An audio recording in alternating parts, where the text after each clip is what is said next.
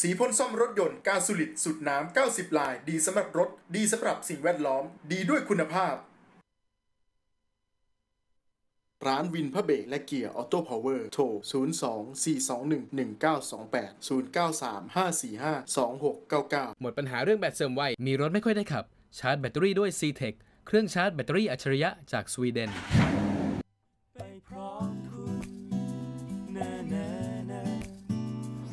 ขอต้อนรับกลับเข้าสู่รายการ Speed Talk ทาง Speed Channel ทูวิชันช่อง 691 คุณผู้ชมนั้น คุณผู้ชมท่านใดมีปัญหาเรื่องรถ สามารถโทรเข้ามาสอบถามได้ที่เบอร์ 025309496-98 และ SMS มาที่เบอร์ 4827772 พิมพ์ C เว้นวรรคตามด้วยข้อความ ขอบคุณยางรถยนต์ดันหลบเพื่อคุณที่คุณแคร์ขอบคุณไอชินผลิตภัณฑ์ชั้นนำจากประเทศญี่ปุ่น อะมาเราเปิดสายนะครับคุณผู้ชมที่มีปัญหาเรื่องรถก็โทรเข้ามาพูดคุยกับพวกเราได้นะครับครับ ช่วงที่รอสายมารู้เรื่องราว SMS หน่อยครับพี่เอ็กซ์ที่ค้างๆอยู่ เขาบอกว่าเข้าเกียร์ D แล้วรถไม่วิ่งครับ แต่มีเสียงความเร็วแต่มีเสียงเหมือนความเร็วรอบเหมือนใส่เกียร์ N เกิดจากอะไรครับ เหมือนกับว่าเข้าเกียร์ D แล้วเร่งเนี่ยเร่งเร่งเนี่ยได้รอบเดินรถแต่ว่าไป รถไม่ไป พังแล้วเกียร์ อืมแล้วพออีกสักพักหนึ่งมันกระตุกแล้วไปหรือเปล่า อืม ถ้าไปเนี่ยแสดงว่า O-ring ภายในอะน้ำมันอะครับ มันยังดันหม้อคลัตช์ในหม้อเกียร์หนึ่งไม่ได้ มันมีอีกอันหนึ่งเกียร์ถอย เฮียโอผมเคยเจอมาครับ รถเพื่อนกันแบบนี้เลยรายการหนึ่งฮะ ตรวจเช็คก่อนเกียร์ออโต้แบบไหนฮะ บางทีไอตัวแค่ตัวไอเนี้ยขาอ๋อสลิงที่เกียร์ใช่ เออบูชตรงยึดเนี่ยคือเลื่อนแล้วตำแหน่งเกียร์ไม่ไปคันเกียร์คันที่เกีสายร์คันที่เกียสายร์คันเกียร์ครับ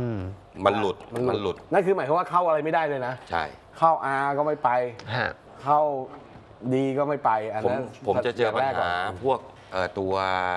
อิซูซุดีแม็กเยอะ อ่ามันจะเป็นห่วงอ่านั่นแหละห่วงอย่างนี้ยนะนั่ฮะนแหละฮะเสร็จแล้วมันจะเป็นลูกยาง ใช่ อืมแล้วลูกยางตัวเนี้ยมันจะดันเข้าไปที่สลัก โดยที่ไม่มีอะไรล็อก ครับ พอลูกยางมันมันมันเสีย ฮะ หลุดออกมาเลย นี่แหละไอ้ดีแม็กนี่แหละที่ผมเจอรถเพื่อนผมนี่แหละเจอบ่อยครับ อีกอันหนึงก็คือรถถ้าเป็นรถเก่งทั่วไปก็คือครับ ดูอาการก่อนนะครับคือจริงๆพวกนี้มันส่วนใหญ่มันจะมี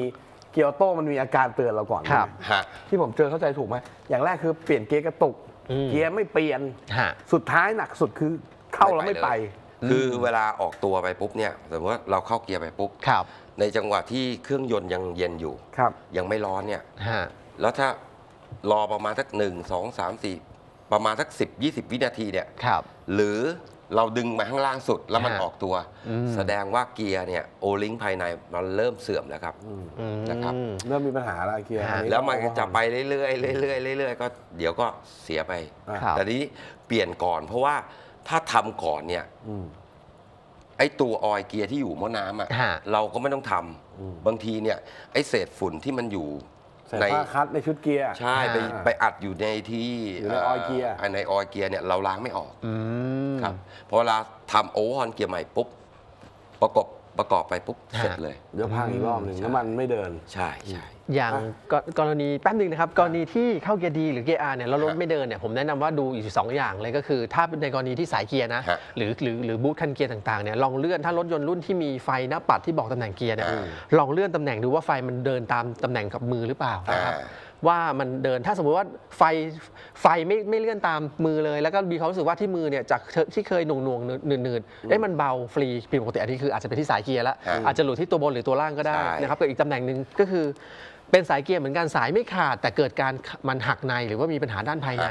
การเลื่อนเปลี่ยนเกียร์บางครั้งมันไม่ปกติครับอย่างเช่นเข้าเกียร์ P แต่มันอาจจะยังไม่เข้ามันอาจจะไปเข้า R อ๋ออันนี้น่ากลัวสลับเพี้ยนตำแหน่งไปเลย อันนี้ก็น่ากลัวนะครับ ต้องลองเช็คดูในรถยนต์อ่ารุ่นเก่าๆที่เป็นสายสายสลิงนะครับแล้วก็อีกอย่างหนึ่งก็คือเผาขับถ้าเป็นรถขับหน้าฮะนะครับเผาขับรูดนะครับเดินหน้าก็ไม่ไปถอยหลังก็ไม่ไปตอนแรกคิดว่าเป็นเกียร์นะครับพอเช็คไปเช็คมาอ้าวเผาขับมีปัญหาครับนะครับต้องเช็คดูให้ดี แต่ถ้าสมมติว่าเช็คแล้วไม่ใช่ระบบระบบส่งกำลังก็น่าจะเป็นชุดเกียร์ครับอืมนะฮะรับสายคุณปุ้ยฮะ สวัสดีครับ สวัสดีครับ คุณปุ้ยครับยังอยู่ไหม่เอ่ยคุณปุ้ยเท่าทีรอนานไปหน่อย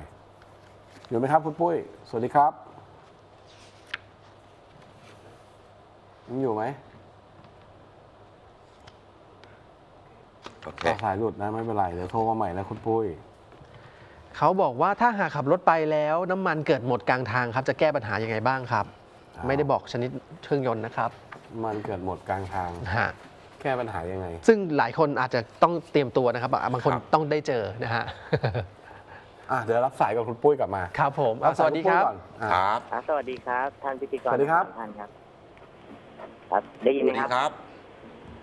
ได้ยินไหมครับ ครับครับอะผม ได้ยินแล้ว อ่าก็ผมมีปัญหาจะสอบถามนิดนึงครับ คือ ผมจะหารถบรรทุก ส่งของส่งงานเนี่ยครับ อะระหว่างกระบะหัวเดียวครับ กับมินิทัศของอีซูซูครับ ที่เป็นกระบะเรียบอะครับอ๋อ อันไหนจะคุ้มค่ากว่ากันครับ พี่แล้วก็ดูการดูแลครับอันไหนง่ายยากกว่ากัน อืมทุกของเยอะไหมครับ ก็ต้องการปริมาณพื้นที่หน่อยครับ อ๋อ แล้วน้ำหนักอะ น้ำหนักมันน้ำหเกินันสองตันไหมำกน้ำหนักไม่เกินครับ ไม่เกินสองตันนะครับ อะโอเค แต่อยากได้พื้นที่กว้างครับ ๆไอ้กระบะพื้นเรียบ mini truck มันก็ได้เปรียบตรงที่มันเปิดข้างได้ใช่ไหมใช่ มันวางครับ ของขึ้นขนย้ายซึ่งสะดวก แต่รถปิกอัพตอนเดียวเนี่ย ถ้าเป็นปกติท้ายกระบะปกติก็คือ เอาขึ้นได้ทางด้านเปิดฝาท้าย ใช่ไหมต้องขึ้น ต้องต้องมีของที่บรรทุกเนี่ยมันมี มันมียาวไหมครับเออบรรทุกใหญ่หมอะไรคบเอางี้ดีกว่าอย่างเงี้ยมันบรรทุกอะไรดีกว่าชิ้นส่วนเป็นพวกเฟอร์นิเจอร์เบาะนะครับ อ๋ออย่างเนี้ยต้องทำคอกด้วย น่าจะต้องทำคอกด้วยใช่ไหมครับ ครับ ก็อยากจะสอบถามเรื่องการดูแลครับ อืมระหว่าง mini truck กับรถปิกอัพอะใช่ไหมครับ มันต่างกันไหมใช่ไหมการดูแลรักษา ครับอันไหนมันจะดูแลง่ายยากแล้วก็ จุกจิกกว่ากันอะไรเงี้ยเอาการขับก่อนดีกว่าปิกอัพขับได้ smooth กว่า อืม แต่ว่าถ้าเกิดบรรทุกสี่ล้อเนี่ย เวลาขับเนี่ยมันจะไม่ค่อยควบคุมรถจะลำบาก แล้วก็วิ่งเร็วจะไม่ค่อยได้ อืมมันนะครับความคล่องตัวมันผิดกันแหละรถสองใช่เนี้ยเอาประเภทรถก่อนนะครับ คือถ้าไอ้รถปิกอัพเนี่ยออกมามันใช้งานได้หลากหลาย เวลาไม่บรรทุกของเอามาขับไปนู่นไปนี่ได้ ไปตลงตลาดได้ ขับไปบ้านเพื่อนได้ อืม ไอ้รถไอ้ mini truck เนี่ยที่มันเป็นสี่ล้อใหญ่เนี่ยฮะ ใช่ไหมมันคือสี่ล้อสี่ล้อใหญ่ถูกไหมใช่ mini truckสี่สี่ล้อขนาดเล็ก อ่าสี่ไอ้สี่ล้อที่คันใหญ่กว่าปิกอัพอะอ่า อ่า สี่ล้อกลางเลยสี่ล้อกลางนะเขาเรียกสี่ล้อกลาง เพราะฉะนั้นไอ้รถพวกนี้มันมันต้องไว้ทำงานอย่างเดียว คงไม่มีใครขับคันนี้ไปซื้อของไปตลาด หรือไปบ้านเพื่อนอะไรอย่างเงี้ยนะ เพราะฉะนั้นความเป็นอเนกประสงค์มันก็ต้องมองว่าเราเน้นใช้งานอย่างเดียว ปัจจุบันมีรถใช้อยู่แล้วคันนี้จะเป็นรถที่ไว้ทำงานอย่างเดียว ก็อย่างที่ผมมองถ้ามองอย่างที่บอกว่าเอาสี่ล้อกลางประโยชน์ใช้สอยก็คือสี่ล้อกลางมันการดูแลรักษาไม่ได้ต่างกันมากนะครับเพราะว่าเครื่องยนต์ก็ไม่ได้ต่างกันใช่ไหมอืมระบบช่วงล่างก็ไม่ต่างกันใช่อันนี้ต่าคืงอต่างช่วงล่างต่าง ดูตระกูล N series ใช่ไหมครับเออ NPR ตัวไหน NQ ก่อนอ่าใช่ใช่ไหมคุณปุ้ย มองตัวไหนไหมครับดูตัวไหนครับผม ก็ก็มันเป็นตัวกระบะเหรอครับไอ้สี่ล้อใหญ่อะไอ้สี่ล้อกลางสีล้อใหญ่มันเป็นของอีซูซู แต่ปีค่อนข้างจะเก่าหน่อยครับอ๋อเป็นมือสองเป็นรถมือสองเหรอฮะ อ่าอ่าอ่าเป็นรถจดประกอบหรือว่าเป็นรถของอีซูซูแท้เลยออกตีเพเป็ชนรอีครัซูบซูแท้เลยครับ อ๋อรถบ้านเรานะโอเคครับรถบ้านเป็นรุ่นไหนฮะเมื่อกี้มองไว้รุ่นอะไรบอกรุ่นนิดนึงเผื่อนึกออกผมไม่แน่ใจเรื่องรุ่นนะครับ แต่มันอยู่ประมาณปีสี่ห้าอืมสี่ห้าแต่รถเขาดูแลรักษาดี ผมก็ไปดูราคาผมเขาตั้งไว้สองแสนกว่าครับอืมครับเกินกลางอะขั ก็บเลยองมันมันจะใกล้กันกับกระบะหัวเดียวอืมอ่าที่เป็นมือสองใช่ไหมครับ ครับครับใช่งบนี้ผมก็ดูว่าพื้นที่มันก็ถ้าเป็นมินิทังเนี่ยมันจะยาวกว่าหน่อยนึงอ่ามันใหญ่กว่า แต่ก็มันจะสูสีกันระหว่างที่ผมทุกงาน แต่จะเป็นห่วงเรื่องการบำรุงรักษาเนี่ยครับบำรุงรักษาว่าผมไม่ว่าอะไรมันกลัวยากนะไม่มีง่ายกว่ากัน แล้วก็ชิ้นส่วนอะไร การดูแลแมนเทนแนนอะไรเงี้ย ในเรื่องของการแมนเทนนั้น ผมไม่กลัวนะ ผมกลัวอยู่อย่างเดียว การขับ เพราะว่าไอ้ตัวเนี้ย มันจะกระโดดมากอืมเวลาขับมันจะกระโดดมาก ช่วงล่างมันแข็งกระด้างมันแข็งขับครับแบบรถบรรทุกอะมันไม่ได้ขับใช่คือรถกระบะนะความความยาวของเฟอร์นิเจอร์ของพี่อะครับ มันมันยาวเกินกระบะตอนเดียวไหมฮะ เกินกระต้อบะงเปิดยัต้องไม่เปิด ยาวครับไม่เกินครับ ถ้าไม่เกินจริงๆส่วนตัวผม ผมว่าถ้าพี่ไม่ได้ ถ้าพี่ไม่ได้ใช้ใช่งานแบบเออ ชิ้นส่วนที่มันยาวมากผิดปกตินะ ผมว่ารถกระบะเนี่ยมันตอบโจทย์การใช้งานแล้วมันก็ดูแลง่ายอะครับแล้วขับ ใช่ มันก็อย่างที่พี่บอมบอกเลย ไม่ติดเวลานะฮะไม่อืม ไม่โดนเรียกบ่อยมันก็ไม่ติดเวรลาถสี่ล้อนี่ เพราะว่ามันป้ายเล็ก ไอ้นี่ไม่ติดเวลาแต่โดนเรียกตลอดทางนะ รถเนี่ยวิ่งไปเนี่ยยิ่งกว่ารถปิกอัพอีกนะ ฮะมันต่อไม่ได้ฮะเออ เรื่องเนี้ย เสียเวลากระบะเล็กกระบะดีกว่าฮะตอนเดียว อืมจบมากกว่า ถ้าไม่มีความจำเป็นก็แค่กระบะพอฮะแล้วอย่างที่ผมบอกอะมันประโยชน์คือ วันหยุดไม่ได้ทำงานเราเอามาใช้ได้อะครับ ถ้าพี่บรรทุกข้อดีมัน ถ้าพี่บรรทุกแบบสะสี่หนักๆตันเนี่ยแล้วก็ชิ้นส่วนอ่ายาวๆ อะไรเงี้ยอฮะย่างเงี้ยโอเคอันเลนั้นยโอเคทำเลยให้ขยับไปรถใหญ่ถ้าแล้วบรรแนะทุกนำไม่เป็นเยอะไรอะดีครับตัวนี้ อะไรนะหัวก็ถ้าเป็นกระบะหัวเดี่ยวแนะนำหัวป็นเดียวแล้วก็ในงบสองแสนกว่าบาทมัน ทำต้องเป็นอิสุไหมไม่จำเป็นนะอิสุมันก็จะกลายเป็นปีลึกไป ครับ ไม่จำเป็นครับถ้าผมผมแนะนำวีเน้นส่งงาน เน้นเน้นใช้งานอย่างโอเดีเคยวถ้าผมผมแนะนำวีโก้เครื่อง 3,000 นะฮะ ถ้าเป็นผมนะ หัวเดี่ยว Vigo 3,000 งบได้ไหมสองแสนกว่าได้ครับได้อยู่ได้ได้ เอออันนี้น่าสนใจ Vigo สามอ๋อได้ครับครับอ๋อโอเคนะ งั้นขอบคุณครับพิธีกรทั้งสามท่านได้ครับ ครับขอบคุณมากผมครับสวัสดีครับ ครับสวัสดี บนหน้าจอบ้างนะครับ Mazda CX-5 มือ2ครับ น่าใช้ไหมครับ ใช้ยาวครับ ปีไหนแล้วครับ ดีเซลเบนซินนะ เออดีเซลเบนซินขอปีเบด้วยอ่าฮะ โฉมไหนอะบำรุงรักษาแพงไหมครับ จากคุณโยดอนเมืองอะคุณโยนะฮะนนเมืองอีกทีนึงเอารุ่นย่อยหน่อย งบเท่าไหร่ก็ได้อะอ่าขอปีด้วย ไหน เออขอปีด้วยจะไปได้มา CX5 ตัวไหน หรือไหน ๆ จะมือ 2 แล้วนะครับ ดีเซลไปเลยนะครับ เอางี้เออถ้าถ้าจะซื้อ ก็ควรจะเป็นดีเซลนะฮะ เลยรถมือสองฮะ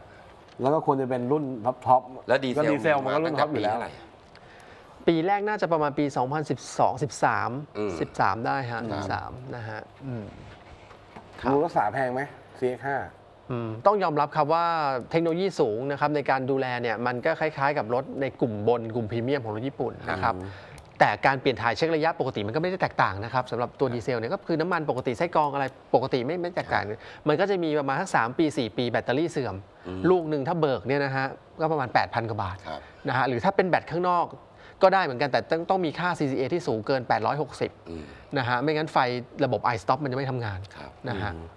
มันก็จะยากตรงนี้ก็ ถ้าเป็นแบตข้างนอกก็ถ้าเป็นแบตข้างนอกแล้วใช้งานได้เนี่ยก็ประมาณ 4,000 กว่าบาทอืม นะครับแต่ถ้าเป็นแบตประมาณสัก 3,000 กว่าบาทเนี่ยค่าค่าไฟฟ้ามันอาจจะไม่พอ CTA ไม่ได้ครับ แต่อย่างอื่นก็ไม่มีอะไรครับ มาบนหน้าจอครับ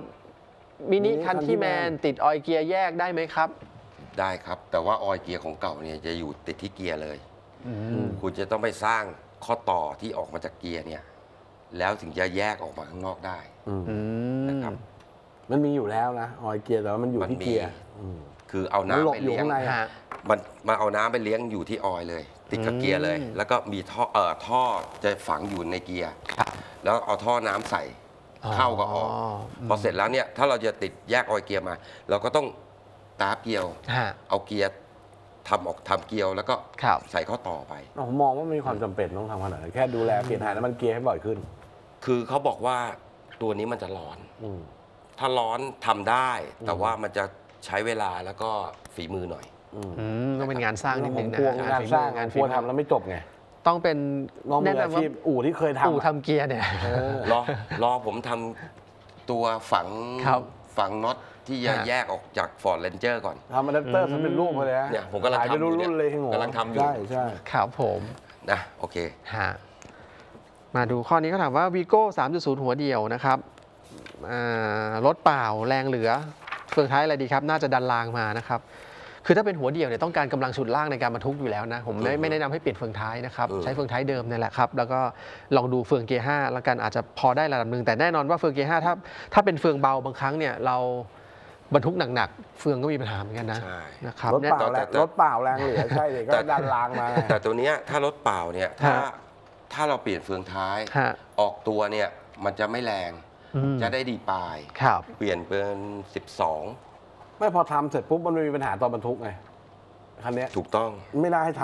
ำคือเขาบอกแค่ว่ารถเปล่าแรงเหลืออืม เอาเป็นว่าถ้าเรารถเปล่ามันแรง แต่ว่าเปลี่ยนไปไล่เฟืองท้ายปุ๊บเวลาไปบรรทุกของเสร็จเลยนะ คือวิ่งไม่ออก คือเราตอบตามที่เขาอืมอยากได้โพนะสต์มา แต่ว่าอย่างพี่เอ็กซ์บอกอะฮะ ครับ ทำเฟืองเกียร์ห้าครับได้ให้เฟืองเกียร์ห้าเนี่ยมันเบาลง ฮะมันก็จะดีขึ้น แต่ว่าถ้าเกิดรถเปล่า แล้วทุกทุกของด้วย ฮะ เปลี่ยนเฟืองท้ายไม่เหมาะอืมนะครับ ครับ WRV เมื่อวานตอบไปแล้วนี่จะเข้าไทยไหมครับ ใช่ไหม ใช่ฮะมีถามเข้ามานะครับ Volvo S60 จะเปลี่ยนโฉม หรือยังครับ หรือกำลังจะมา ยังไงพี่เอก S60 จริงแล้ว S60 บอดี้ปัจจุบันเนี่ยนะครับ ฮะมันก็เป็นช่วงปลายของการทำตลาดแล้วนะครัครับบผมว่าอีกไม่นานครับ เพราะว่าซีรีส์ที่จะมาก่อนเลยสำหรับซีรีส์ 60 ก็คือตัว XC60 อืมที่ใช้แพลตฟอร์มใหม่ที่เราพูดไปเมื่อสักครู่นี้นะครับ และแน่นอนว่า S60 แล้วก็ตัว V V V60 เองเนี่ยก็จะต้องเปลี่ยนแพลตฟอร์มใหม่เป็นโมเดลใหม่นะครับ ซึ่งอีกไม่นานครับ Volvo เองเนี่ยถ้าใช้รถ นะครับผมอยากให้รอเพราะว่า Volvo ออกตัวแพลตฟอร์มรุ่นหนึ่งเนี่ยจะใช้ประมาณเกือบ 10 ปีหรือประมาณ 10 ปีนะครับไม่ได้เปลี่ยนบ่อยเหมือนเบนซ์ BM เพราะฉะนั้นเนี่ยถ้าสมมติมันกำลังจะเป็นปลายโมเดลแล้วรออีกนิดนึงรอโมเดลใหม่เลยดีกว่าก็ตัว V90 เพิ่งจะเปิดตัว ใช่ใช่ต้องรอตามลำดับนะครับบ้านเรา V90 S90 XC90 เพิ่งจะเปิดตัวไปครับนะครับมีงบอยู่ 5 0 0 0 0 0ครับ อยากได้ Camry เอามาติดแก๊สครับ แนะนำรุ่นย่อยครับ ACV 40 2.0 ก็ได้ 2.4 ก็ได้ 2.4 ไปเลยมาติดแก๊สอะ ครับ ซื้อทีแล้วเอา2.4 ไปเลย อืมทีเดียวจบ แล้วก็ราคาไม่ได้ต่างกันมากมือสองครับใช่นะครับบน E 3 0 M 3 คูเป้หน้าเล่นไหมหน้าเล่นเลยครับ รถ M 3 อะฮะ แล้วเท่าแต่ไหร่มันล่ะ แต่ผมถามว่ารถแท้หรือเปล่าแค่เนี้ย แท้กันล้านขึ้นครับ E 3 0 M 3 มันมีแต่พวงมาลัยซ้าย โอ้โห กันล้านขึ้นนะครัมับ นจะมาขับยังไงอะนะครับราคาประมาณเท่าไหร่คุณชินพญาไทยพวงมาลัยซ้ายเอามาขับลำบากก็ ฮะ ล้านขึ้นน่ะ คือ ต้องไปไล่กันเลยว่ารถคันนี้รถแท้ไหมหรือว่ารถทำอืประมาณ 80ถึง90เปอร์เซ็นต์เป็นรถทฮะแท้ำ E 3 0ทำเป็น น้อย M มาก3ไอ้รถแท้ๆมีอยู่ไม่กี่คันนะแล้วมันต้องมันต้องเป็นพวงมาลัยซ้าย ฮะ ไม่ใช่พวงมาลัยขวา มันน่าเล่นแน่นอน เก็บมันเป็นรถคัส คือเขาเก็บกันแล้วอะครับผม นะตอนเนี้ยต่างประเทศเมืองนอกเขาก็เก็บเป็นคอลเลกชันแล้วอะ ครับ E 3 0 M 3เนี่ยขึ้นแท่น แล้วไปดูในมิวเซียมอืม BM เขาก็จัดโชว์ไปแล้วมัน E ฮะ 3 0 M 3ใช่ ถ้าเจอซื้อเลยครับ ราคามัน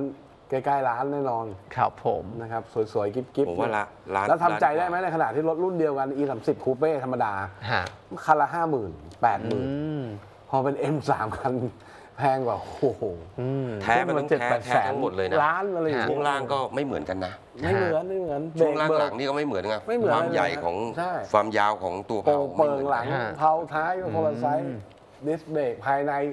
คนละเรื่องเครื่องยนต์ ครับคนละเรื่องครับอืมขอให้เป็นรถแท้เถอะรถแท้ๆเอาซื้อเก็บพวงมาลัยซ้ายก็เอามีราคา ถ้าเป็น M3 ในบอดี้ E36 เนี่ยยังยังบ้านเรายังมีนะ ยังมีพอสมควรครับเยอะเยอะเยอะถ้าฮะ M3 มีสามหกเยอะหม้อต้มแก๊ส E3 NG อ้าวเมื่อวานมีต่อไปแล้วใช่ไหมฮะที่ว่าซ่อมได้ไหมพี่โบนใช่ให้คำแนะนำไปแล้วว่าลองเช็คกับร้านแก๊สใหญ่ ๆ แล้วกันนะครับใช่เดี๋ยวซ่อมได้แล้วไม่น่าครับกลัวแล้วผม AGV W211 ครับเบอร์ใหม่แพงมากถูกต้องครับแพงจริงเดี๋ยวนี้ซ่อมข้างนอกได้แล้วครับไม่ต้องไปเข้าศูนย์แล้วนะครับอืม A180 หัวเฉียดเสียที่ไหน หาที่หาที่ไหน เชียงกงหาไม่ได้ ศูนย์ไม่มี อืมเอหนึ่งแปดศูนย์เบนซ์เหรอครับ อ้าวศูนย์ไม่มีเหรอต้องมีสิศูนย์เบนซ์ก็ขายอยู่เหรอเอหนึ่งแปดศูนย์นะอืมลองหาแถววัดโสมดู อืมก็ฮะต้องร้านอะไรเนี่ยหรือไม่งั้นก็เชียงกงผมว่าเชียงกงก็เคยเห็นเข้ามาเยอะนะเอหนึ่งแปดศูนย์ฮะ รถมันจะมาทั้งเครื่องเลย มาทั้งคันเลยอะ มาทั้งเครื่องตัดเครื่องมาอะไรมาหน้าเลยหน้าตัดเคยเห็นอยู่ ครับต้องลองหาดูแต่ว่าอาจจะไม่ไม่แยกขายครับผมใช่นะครับอะเดี๋ยวช่วงนี้เราไปพักเบรกโฆษณากันสักครู่เดี๋ยวช่วงหน้ากลับมากับรายการสปีดทอ l k ครับ ครับ